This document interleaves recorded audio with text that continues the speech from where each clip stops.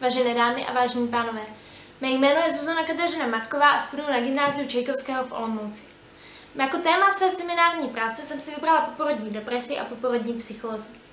Úplně na začátek bych chtěla říct, uh, vlastně o čem má prezentace bude. Prvně budu mluvit o tom, proč jsem si téma poporodní deprese a poporodní psychózy vybrala a jaké cíle jsem si v seminární práci stanovila. Pak uh, řeknu některé faktory, které hrají roli při vzniku poporodní deprese a poporodní psychózy, vysvětlím, co to poporodní deprese a psychóza je, uh, řeknu, jak se léčí a jaká je jejich prevence. A nakonec uh, řeknu, jakou výzkumnou metodu jsem si vybrala a celkově nějak svou seminární práci zhodnotím. Jako hlavní cíl své práce jsem si vybrala to, že bych chtěla informovat o těchto chorobách širokou veřejnost protože si myslím, že je to důležité, aby lidé o těchto chorobách věděli.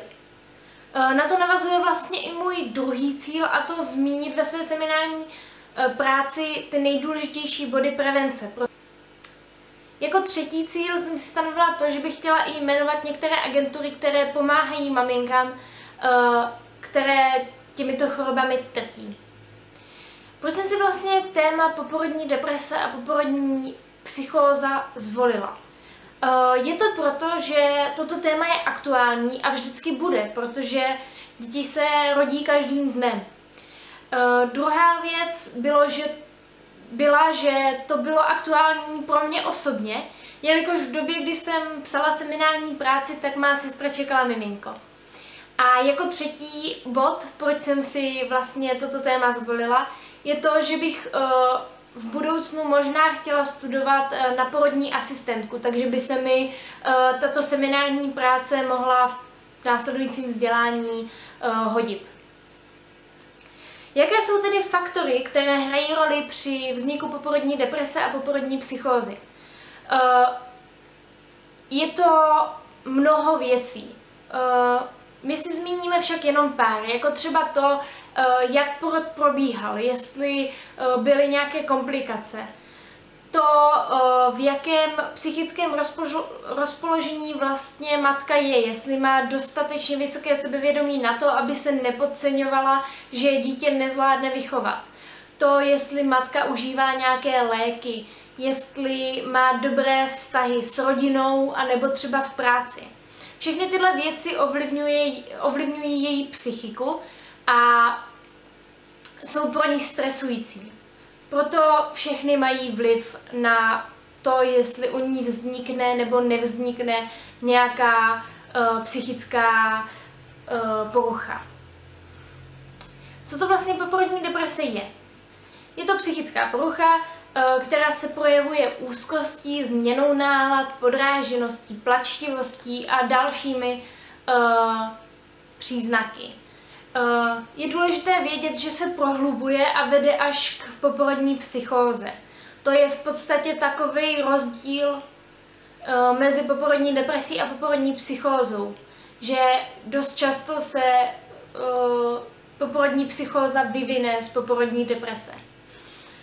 A ještě bych tak zmínila, že poporodní deprese u matky vzniká v prvních 12 měsících po porodu. Uh, co to je poporodní psychóza?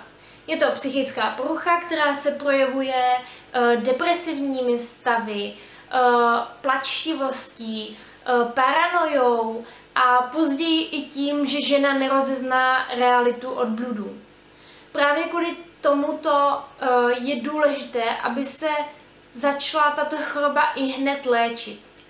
A to hospitalizací. Eh, bohužel v některých případech i nedobrovolnou, protože eh, matka v tomto stavu je nebezpečná jak pro sebe, tak i pro své dítě. Eh, ještě bych řekla teda, že tato choroba se u matek projevuje v prvních dvou týdnech po porodu. Jak se tyto choroby léčí?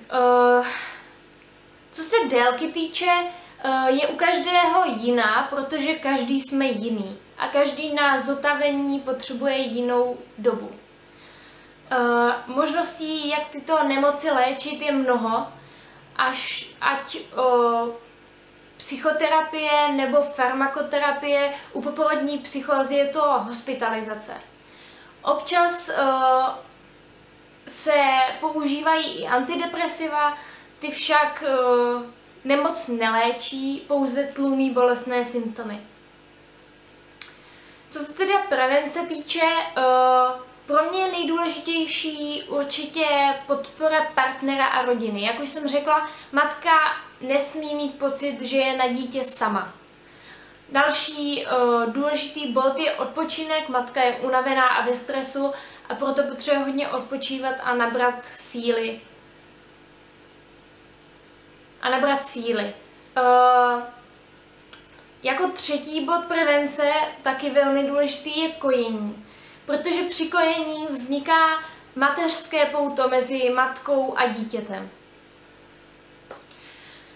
Uh, jako výzkumnou metodu jsem si vybrala analýzu, uh, protože, jak už uh, víte, mým cílem je zhrnout základní informace pro čtenáře o těchto chorobách. Tím se vlastně dostávám k mému hodnocení. Uh, má práce vlastně neuvádí žádné nové poznatky, protože mým cílem uh, bylo to, že chci informovat o těchto chorobách veřejnost a ne zjišťovat nové poznatky.